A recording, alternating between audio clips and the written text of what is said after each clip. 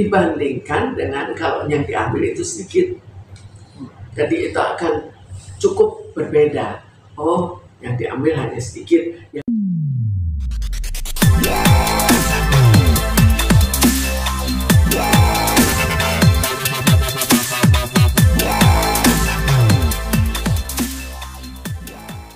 Kasus donasi yang melibatkan Agus Salim dan Pratiwi Novianti telah menjadi sorotan. Polemik ini bergulir akibat adanya perbedaan pandangan mengenai penggunaan donasi yang terkumpul untuk pengobatan Agus yang matanya rusak akibat disiram air keras. Opini publik juga terbelah dalam kasus ini, sebagian yang bersimpati mendukung Agus dalam menggunakan dana donasi yang telah menjadi miliknya, namun banyak juga yang membela Novianti karena penggunaan donasi harus dipertanggungjawabkan. Psikiater, Dr. Mintarsi, memberikan pencerahan kepada publik, meninjau dari segi psikis Agus Salim dan Teh Novi. Ini yang melakukan itu orang lain kan, yang memegang uangnya. Jadi kita lihat bahwa ini suatu donasi. Donasi itu cukup sering disalahgunakan. Sekarang kita lihat pada kasus ini, mungkin pada saat awal, awal adanya uang, belum mempunyai niat untuk mengambil uang itu. Tapi begitu lihat ada uang, itu kan orang sudah lain lagi pikirannya. Berpikir, oh uang itu sayang ya, kenapa tidak saya ambil? Ini yang cukup sering terjadi bahwa orang e, mengambil uang, uang donasi, apalagi pada orang yang cacat.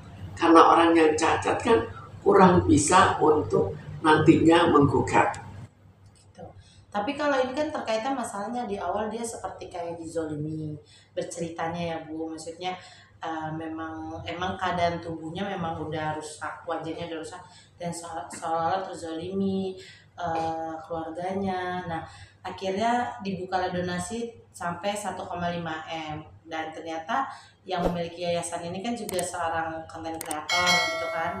Uh, udah transparan dan ada beberapa uang yang tidak tidak transparan gitu diketahui gitu kan. Pasti kan semua donasi ini yayasan harus tahu.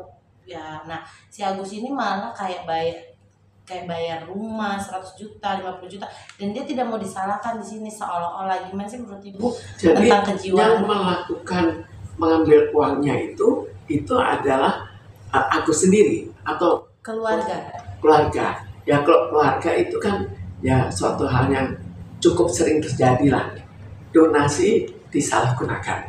Itu prinsipnya. Donasi yang disalahgunakan dan tidak kasihan ke orangnya, hak bukan haknya, tapi tetap diambil. Hmm, tapi uh, ini sepengetahuan oleh Agus.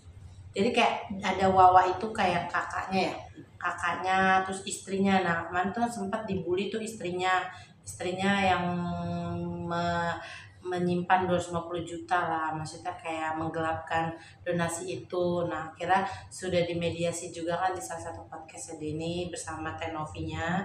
Nah, kirain sudah clear. Tapi nyatanya setelah podcast itu Agus sekarang menyerang balik uh, si Novi yang memiliki yayasan itu dia pengen semua uang itu dimiliki sama Agus sendiri dan terserah mau digunakan untuk apa gitu. Sebetulnya ses reaksi seseorang banyak tergantung pada jumlah uangnya.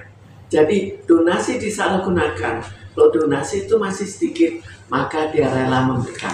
Begitu melihat donasi itu banyak, maka pikirannya berubah. Dan demikian juga pikiran dari ketua yayasannya itu juga bisa berubah.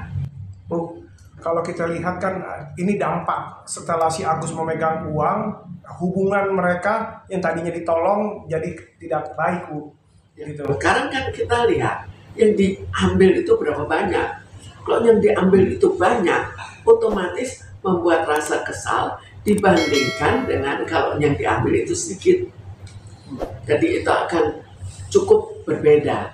Oh yang diambil hanya sedikit.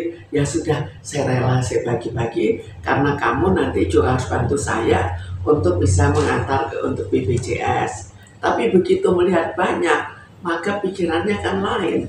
Orang diambil uangnya cukup banyak atau diambil hanya sedikit itu akan berbeda dalam perasaannya. Oke Bu, Bu berarti bisa dikatakan dampak psikologis seseorang itu bisa berubah karena uang sebetulnya dampaknya bukan berubah karena uang, tapi karena jumlah uangnya, kerelaan orang itu akan berbeda. Kalau kita jumlah sedikit, kita berikan. Begitu jumlah besar, apakah kita rela untuk memberikan semuanya?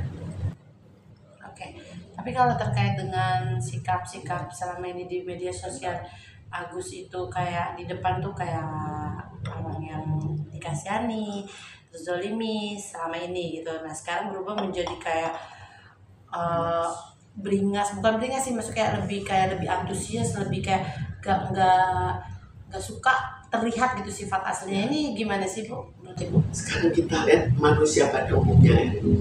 Kalau misalnya sesuatu misalnya, oh dia dicuri jumlah sedikit, dia akan bagaimana sikapnya?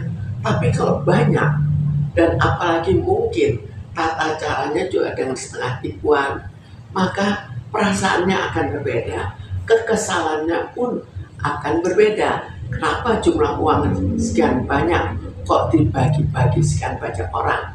Tapi kenapa kok tidak dia hanya menyimpan misalnya?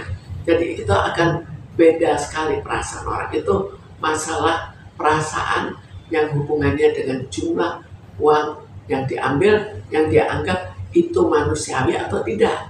Bahwa diambil sekian atau diambilnya demikian banyak sehingga akhirnya rasanya tidak manusiawi keluarga saya atau pimpinan saya atau apa saja